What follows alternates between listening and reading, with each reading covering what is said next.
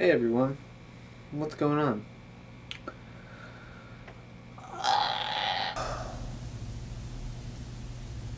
So how's it going everybody? Uh, Matthew back again here with another review. This time we're talking about Jinsang Confessions.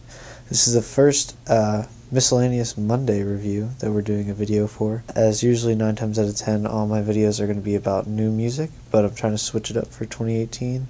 Trying to get a better taste, use the office space more I suppose. So let's get off to a to a rip roaring start. So Jinsang is a very pure soul when it comes to instrumentation, and his beauty kind of knows no bounds behind the really intricate production that he uses. And even though while sometimes it can be very simple, for the most part it is very deeply layered and very complex. And it shows a lot of these these moments where his glimmering monument of hip hop instrumentation really can pull through and take confessions onto new heights. Though while 14 tracks, the tracks move at a very well put together pace, and the moments of real clarity come from when Jinsang is at his most artistically free.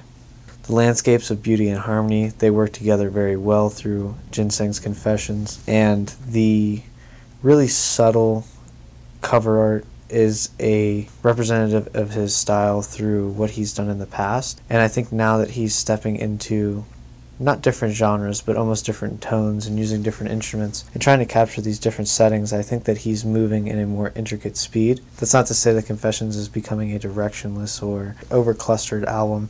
It really does have a very set tone to it. While it doesn't jump from that path very often, when it does, its reward is very almost psychedelic tendencies and these really heavy reverbed guitars and these dancing little chimes that kind of click in behind the instrumentation. And the layer of depth behind all of the foreground I think is the most impressive thing on this whole project. The way that Jinsang layers each thing in layers and layers and layers each instrument creates this real sense of intricacy behind his music. And that's where the intricacy comes in and it's not so much as the instrumentals themselves, but the instruments and the way they're manipulated.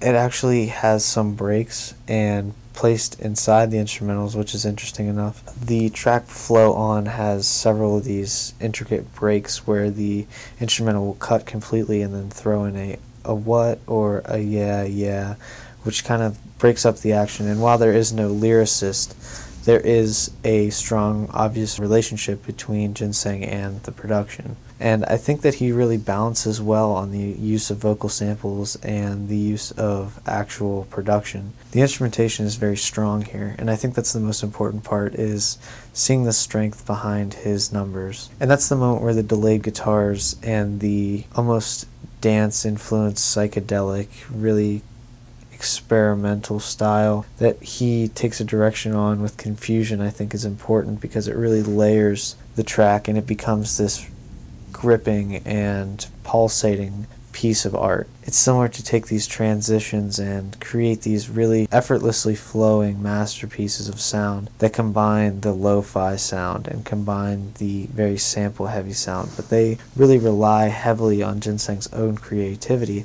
and I think that's where this project is a shining example of how Confessions is something that stands out not for just the way that Jinsang made it flow, but the way that the album takes life itself and is really becoming its own superior entity at one time.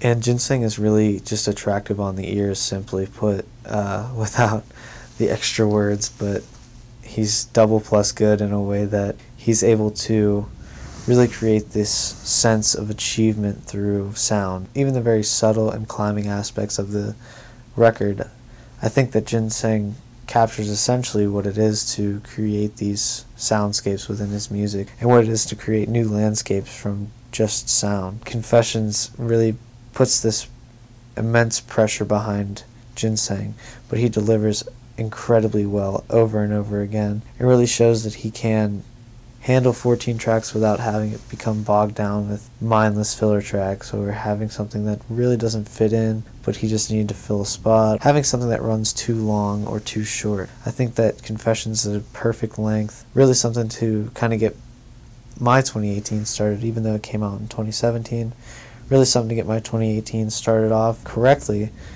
And hopefully Confessions takes the love of all things kind of lo-fi hip-hop and even uh, hip-hop instrumentation and kind of morphs them into one project. And I think that without a lyricist it stands stronger because it is a bigger focus on the production aspect and it is a bigger focus on just Jinsang himself as an artist. The amount of power and prowess that Jinsang takes is something that borderlines on a masterpiece, honestly. And I think that Confessions is something that I'll continue to come back to as it's very relaxing. It also has these moments of very upbeat stylings that can really influence a crowd and really influence the flow of a person as well. This is the first Miss Monday video. I hope that it went smoothly. I am hopefully going to put it up on Monday. That would be ideal. Thank you guys for sticking with me. I appreciate it.